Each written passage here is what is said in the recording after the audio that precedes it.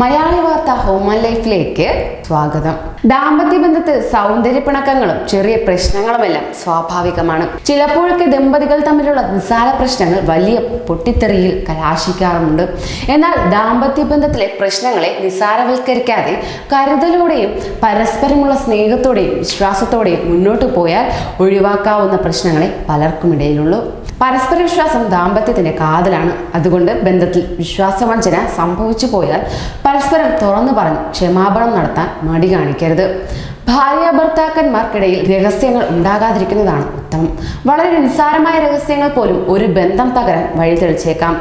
അതുകൊണ്ട് എല്ലാ കാര്യങ്ങളും പരസ്പരം തുറന്നു പറയേണ്ടതുണ്ട്.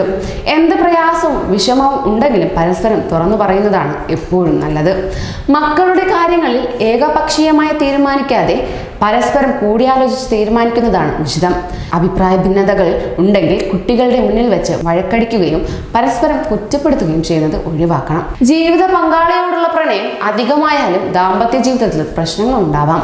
അടുപ്പം കൂടുന്നതോടൊപ്പം പ്രതീക്ഷകളും ആവശ്യങ്ങളും അധികരിക്കുന്നതാണ് പ്രശ്നങ്ങൾക്ക് വഴികൊരുക്കുന്നത് നിങ്ങളുടെ വൈകാരികമായ എല്ലാ ആവശ്യങ്ങളും നിറവേറ്റാൻ നിങ്ങളുടെ ജീവിത പങ്കാളിക്ക് കഴിഞ്ഞെന്ന് വരില്ല. ഈ സത്യം അംഗീകരിക്കേണ്ടതാണ്. ഓഫീസിലെ തിരക്കും ബഹളങ്ങളും കഴിഞ്ഞ് വീട്ടിലെത്തുന്ന ഭാര്യ ഭർത്താക്കന്മാർ വീട്ടിലെത്തിയാൽ മനസ്സിനെ ആയാസരഹിതമാക്കാൻ മനഃപൂർവമായ ശ്രമം നടത്തണം. ജോലിയെ സംബന്ധിക്കുന്ന കാര്യങ്ങളെല്ലാം മാറ്റിവെച്ച് പരസ്പരം സംസാരിക്കാൻ സമയം കണ്ടെത്തണം.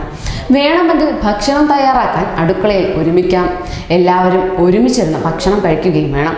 ഇത് നിങ്ങളുടെ മനസ്സിൽ സന്തോഷം നിറയ്ക്കും. ഭാര്യാഭർത്തൃ ബന്ധത്തിന്റെ അളവുകോലായി ഒരിക്കലും ലൈംഗികതയെ കാണരുത്. ലൈംഗിക ജീവിതത്തിൽ സങ്കീർണതകൾ എന്തെങ്കിലും ഉണ്ടെങ്കിൽ അവ പങ്കുവയ്ക്കുന്നതിന് പങ്കാളിക്ക് സ്വാതന്ത്ര്യം അനുവദിക്കണം. ഇടയ്ക്കെങ്കിലും ഒന്ന് പിണങ്ങാത്ത ഭാര്യ ഭർത്താക്കന്മാരുണ്ടാവില്ല. ഇത്തരം വഴക്കുകൾ പൂർണമായി ഇല്ലാതാക്കാൻ കഴിയുമെന്ന് കരുതേണ്ട.